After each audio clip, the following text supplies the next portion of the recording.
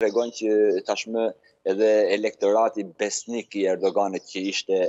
43-44% minimumi, kjo tashmë ka rënë në 32%. Edhe kjo është një gjë që kërkon një ndryshim, por në qofë se shofim nga opozita, një opozitë e parë në qeveri kur, që që që pas Ataturkut më ta arrijë si të marrë 45% dhe kjo është shumë e rëndësishme edhe për demokratizimin e Turqisë sepse një opozitë e fortë jo se është jo se e mposht ndoshta Erdoganin por është edhe shumë e rëndësishme edhe për vetë demokratizimin apo për shumë e shumë liri që siç e dini edhe ju, si kolegët e mi që Turqia ka probleme nga ana demokracisë, drejtës së fjalës e tjerë e tjerë.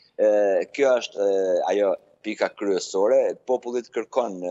gjysma e popullit gjysma plus një e popullit kërkon ndryshimin, kjo a do të arrihet varet te pazaret turke që do bëhen në arenën e akrobacisë politike turke.